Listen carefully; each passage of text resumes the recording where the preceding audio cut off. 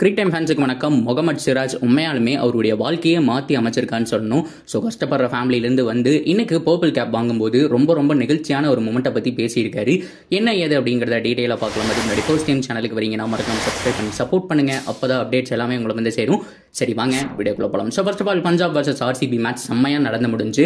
So hero of the match யாருக்கு கொடுப்பீங்க அப்படின்னு கேட்டால் ஃபேப் டூப்ளஸியா விராட் கோலியா சிராஜான்னு கேட்டால் என்ன பொறுத்த வரைக்கும் சிராஜ் அப்படின்னு சொல்லுவேன்.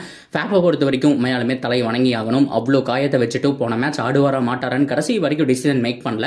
டாஸுக்கு அப்புறம் இந்த பேப்பர் வரும்போது தான் ஸ்குவாட்ல பேர் இருந்துச்சு அப்படின்னு சொன்னோம். நல்லாவே அடி கொடுத்தாரு. விராட் கிட்ட இருந்தும் செம்மையான ஒரு ஃபிஃப்டி அப்படிங்கிறத பார்த்தோம். இது எல்லாத்தையும் தாண்டி மேட்ச் வின்னிங் பர்ஃபார்மன்ஸ் அப்படின்னு சொன்னால் சிராஜுடைய எக்ஸலன்ட் ஃபீல்டிங் பவுலிங் அதையும் நம்ம சொல்லியே ஆகணும். ஸோ அதை தாண்டி டிஆர்எஸ் எல்லாமே சக்ஸஸ்ஃபுல்லாக போயிருக்கு ஆர்சிபிக்கு அப்படிங்கிறதையும் நம்ம மென்ஷன் பண்ணி ஆகணும். ஸோ ரெண்டு டிஆர்எஸ் சிராஜ் கேட்பாரு கோலி கிட்ட ப்ளீஸ் எடுங்க. கண்டிப்பாக அவுட் தான் அப்படிங்கிற மாதிரி சொல்லுவாங்க. ரெண்டுமே அவுட் ஆயிடும் அதை தாண்டி எக்ஸலண்டாக ஒரு ரன் அவுட் அடிப்பாருங்க. உண்மையாலுமே அந்த சுச்சுவேஷனில் பஞ்சாபோட பேட்ஸ்மேன்ஸ் வந்துட்டு செம்மையாக பண்ணிட்டு இருப்பாங்க. அந்த ரன் அவுட் தான் டேர்னிங் பாயிண்ட் அப்படிங்கிறதையும் நம்ம மென்ஷன் பண்ணி ஆகணும். இதை தாண்டி சிராஜ் இவ்வளோ தூரம் வந்ததுக்கான ரீசன் என்ன? பர்பிள் கேப் வந்ததுக்கு வந்துட்டு அவர் என்ன சொல்லியிருந்தாரு அப்படிங்கிறதையும் நிகழ்ச்சியாக சொல்லியிருந்தாரு. அதாவது போஸ்ட் மேட்ச் பிரசன்டேஷனில் இந்த பர்பிள் கேப் எல்லாம் வாங்கிட்டு போனதுக்கப்புறம் orange cap Faf du Plessis and purple cap வந்துட்டு சிராஜ் வச்சிருந்தாரு. சிராஜ் கிட்ட இந்த பர்பிள் கேப் பற்றி பேசும்போது உண்மையாலுமே இது எனக்கு ஒரு ட்ரீம் அப்படின்னு சொல்லணும். ரெண்டாயிரத்தி பதினாறில் சன்ரைசர்ஸ் ஹைதராபாத்துக்காக வந்துட்டு புவனேஸ்வர் குமார் செம்மையாக போட்டிருப்பாரு.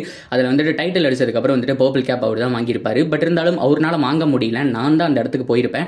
நீங்கள் ரீவைன் பண்ணி பார்த்தீங்கன்னா தெரியும் அப்படிங்கிற மாதிரி ரெண்டாயிரத்தி பதினாறில் புவனேஸ்வர் குமாருக்கு பதிலாக சிராஜ் தான் போய் அந்த பர்பிள் கேப்பை வாங்கிட்டு வருவார்.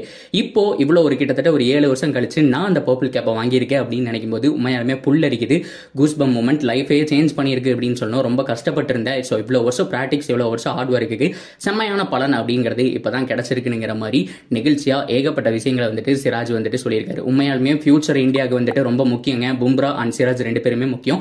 பும்ராவுடைய ஃபிட்னஸ் வந்துட்டு இன்னும் கேள்விக்குறியாக இருந்துட்டு இருக்கு சிராஜ் நம்பர் ஒன் ஓடி பவுலராக இருந்துட்டு இருக்காரு டி டுவெண்ட்டிலே கலக்கிட்டு இருக்காரு நேற்று பவர் பிளேலையும் செம்மையாக போட்டாரு. டெத் ஓவர்லையும் செம்மையாக போட்டாருன்னு சொல்லணும். க்ரூசியலான விக்கெட்ஸையும் பார்த்தோம். செம்மையான ரன் அவுட் டிஆர்எஸ் அப்படின்னு சொல்லிட்டு சிராஜ் கிட்ட இருந்து ஓவராலாக ஆல்ரவுண்டிங் பர்ஃபார்மன்ஸ் அப்படிங்கிறது கிடைச்சது. இதே ஃபார்மை மட்டும் கண்டினியூ பண்ணுங்கப்பா. ஆர்சிபி மறுபடியும் ஒன் செகண்ட் வந்துட்டு பிளே ஆஃப் போகும் அப்படிங்கிற மாதிரி ஃபேன்ஸ் எல்லாருமே எதிர்பார்த்துன்னு வந்துட்டு இருக்காங்க சிராஜோடைய பர்ஃபார்மன்ஸையும் பாராட்டிட்டு வந்துட்டு இருக்காங்க ஸோ தட்ஸ் வீடியோ கைஸ் இப்போ இருக்கிற ஆர்சிபி டீம் நல்லா தான் இருக்கு. ஒரே ஒரு குறை. மிடில் ஆர்டர் என்ன பண்ண போறாங்க அப்படிங்கிறது தான் கேஜிஎஃப் மட்டும் தான் பர்ஃபார்ம் பண்றாங்க. Kohli Glenn Maxwell and Faf du Plessis அதுக்கு கீழே கண் கண்டிப்பாக பர்ஃபார்ம் பண்ணி ஆகணும். பட்டிதர் இல்லாதது கண்டிப்பாக அந்த இடம் மிகப்பெரிய ஓப்பனிங் பிளேஸாக தெரியுது.